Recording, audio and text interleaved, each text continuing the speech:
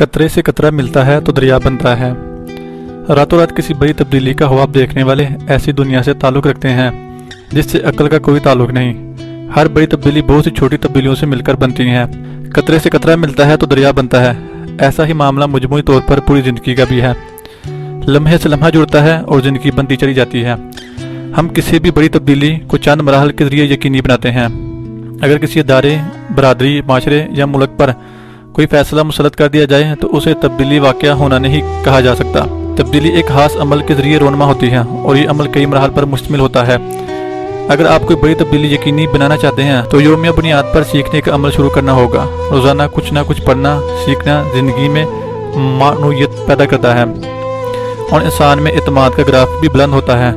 देखा गया है कि बाकायदगी से, यानी योमिया बुनियाद पर कुछ ना कुछ सीखने का अमल इंसान को भरपूर तमानियत से हमकनार करता है और इसके नतीजे में वो ज़्यादा पुरजोश और पुरज़म होकर काम करने पर मायल होता है।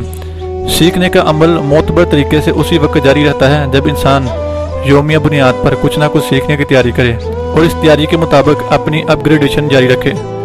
सीखना आसान अमल नहीं, इसके लिए बहुत कुछ अनसीखा भी सीखना पड़ता है। यानी जहन से बहुत कुछ निकालना भी लाजम ठहरता है। हमारे जहन में बहुत कुछ बड़ा हुआ है, माहौल हमारे जहन में खुदा जाने क्या क्या ठूंसता रहता है। बहुत सी गैर मुतलक बातें हमारे जहन को उलझा देती हैं। ऐसे में हम चाहते हुए भी मामला को दुरुस्त नहीं कर पाते। जहन को गैर मुतलक बातों से बचाने का एक अच्छा तरीका यह है कि हम मुताले और मुशाहे के मामले में मुख्तात रहें। जिन मजामी से हमारा बहरास कोई भी ताल्लुक ना हो, उन्हें पढ़ने से ग्रेज करना चाहिए। टीवी पर जो कुछ भी पेश किया जा रहा हो, वो सब कुछ देखना लाजम नहीं। हमें इलेक्ट्रॉनिक और प्रिंट मीडिया से सिर्फ़ वही मवाद लेना चाहिए जो हमारी दिलचस्पी या हमारे काम का हो। हर मामले में ख्वा मखा दिलचस्पी लेना तो ऐसा ही है कि इंसान दस्तर ख्वा पर पेश की जाने वाली हर चीज़ खाए। हमें सिर्फ़ वही चीज़ खानी चाहिए जो हमें पसंद हो और आसानी से हजम भी हो सके। अगर हम हर गैर मुतलक चीज़ों को जहन में जगह दें तो काम की बातें अव्वल तो आसानी से दाखिल नहीं होंगी और अगर होंगी भी तो उन्हें डंग से बुराई कर लाना इंतहाई दुशवार साबित होगा। योमिया बुनियाद पर सीखना एक बाबा अमल बल्कि मशक है। जिसके लिए खुद को जहनी तौर पर तैयार करना पड़ता है। हमारे मामला में बहुत कुछ ऐसा होता है जो हमें कुछ नया सीखने से दूर रखता है। सीखने का अमल तवज्जा भी चाहता है और वक्त की कुर्बानी भी। साथ ही साथ बहुत सी बातें तर्क भी करना पड़ती हैं। सीखने से आम तौर पर लोग इसलिए भागते हैं कि उन्हें अंदाज़ा होता है कि इस राह में कितनी रुकावटें आएँगी और कितने कांटों से दामन बचाना होगा। सीखने का अमल खमा किसी भी सतह का हो, इंसान की तोानाई निचोड़ लेता है। हर माशरे में सीखने की तरफ़ माइल होने वाले चंद लोग होते हैं, ज़िंदगी को अपग्रेड करना चाहिए। तो सीखने पर माइल होना ही पड़ेगा। जब हम योमिया बुनियाद पर कुछ ना कुछ सीखने का जहन बनाते हैं, तब ज़िंदगी का रूह तब्दील होने का अमल शुरू हो जाता है। बहुत सी छोटी छोटी तब्दीलियाँ मिलकर एक बड़ी तब्दीली को जन्म देती हैं। योमिया बुनियाद पर सीखने का अमल हमारी ज़िंदगी में मानूनीत की सतह बुलंद करता है। यही यही अमल हमारी निजी और पेशा वराना ज़िंदगी में इस्तेकाम ग्राफ भी बुलंद करता है। जब हम अपनी निजी और पेशा वराना ज़िंदगी को ज़्यादा बार आवर बनाने पर माइल होते हैं, तब मामला दुस्त की गिरा पर गामजन होते हैं। हमारे मामूलात में पाई जाने वाली खराबियाँ सीखने के अमल के नतीजे में कमज़ोर पड़ती जाती हैं और फिर एक वक्त ऐसा भी आता है, खूबियाँ पूरे वजूद पर मुहित होती जाती हैं। यूँ इंसान यूँ इंसान ज़्यादा बार आवर साबित होने लगता है। हम ज़िंदगी भर अपनी मेहनत की कमाई किसी भी मुश्किल वक्त के लिए बचाने और सरमाकारी करने की फ़िक्र में गलता रहते हैं। हमें अंदाज़ा होता है किसी भी वक्त कोई भी नागहानी सूरत हाल पैदा हो सकती है, इसलिए तैयार रहना पड़ेगा। सरमाकारी सिर्फ़ दौलत से नहीं होती, इंसान ज़्यादा सीखने की सूरत में भी सरमाकारी कर सकता है। अपनी शख्सियत को ज़्यादा ताकतवर मुस्तकम बनाना भी सरमाकारी की ही एक शक्ल है। और हकीकत यह है, दौलत से कई कदम आगे जाकर शख्सियत की अपग्रेडेशन सरमाकारी की काबिल शक्ल है।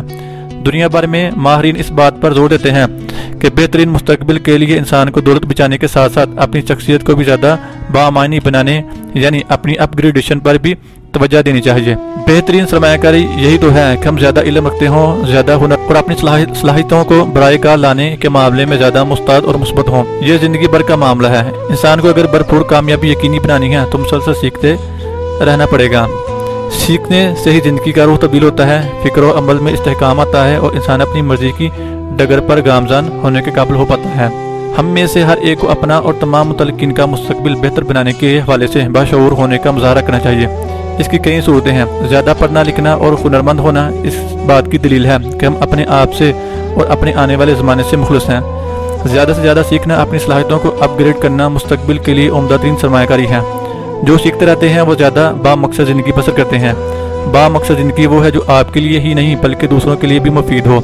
इस दुनिया में वही लोग हकीकी कामयाबी से हमकनार हो पाते हैं, जो सीखने के अमल किसी भी मरहले पर रोकते नहीं, ना ही तर्क करते हैं। और सीखने के अमल को आसान बनाने का बेहतरीन तरीका यह है कि योमिया बुनियाद पर कुछ ना कुछ सीखते रहने को ज़िंदगी का सबसे बड़ा नुमाया मामूल बनाया जाए। इस तरीक पर अमल करने से इंसान बहुत कुछ सीखता है। इस तरीक पर अमल करने से इंसान बहुत कुछ सीखा, सीखता जाता है और उसे खुद भी इसका एहसास नहीं हो पाता। सीखने का ज़्यादा मज़ा इसी मजबर में है कि इंसान बहुत कुछ सीख भी ले और उसे एहसास भी ना हो पाए। ऐसे में जेन पर ज़्यादा बोझ भी नहीं पड़ता। यह तो थी आज की वीडियो। कतरे से कतरा मिलता है तो दरिया बनता है। ऐसा ही मामला मजमू तौर पर पूरी ज़िंदगी का है। अगर आपको वीडियो पसंद आए तो लाइक, कमेंट और सब्सक्राइब ज़रूर करें और साथ ही बेल के आइकन पर भी क्लिक कर दें ताकि हर आने वाली नई वीडियो आपको बर वक्त मसूल हो सके।